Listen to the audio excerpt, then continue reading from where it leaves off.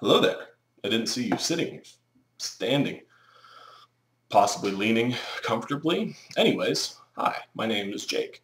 Uh, you also might know me as Big Chef JC uh, or Jake Croston or Big Jake. Um, whatever it is, I have a blog, and the blog is called Spirit of Taste, and it's at spiritoftaste.blogspot.com.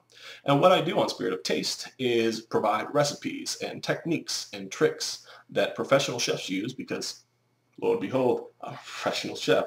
You know what I'm saying? And I've been doing this for a long time and figured I'd just share my knowledge with the world.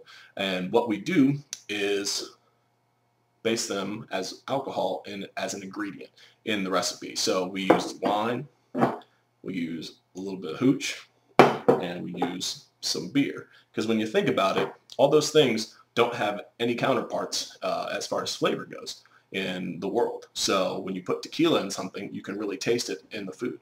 So I figured that'd be a good way uh, to kind of break the mold of traditional blogs and traditional recipes and also in showing you how to do cool things like chop an onion, mince garlic, cut a pepper fast, do that cool tossy things that chefs do, and flip the food in the pan. Comes in really handy.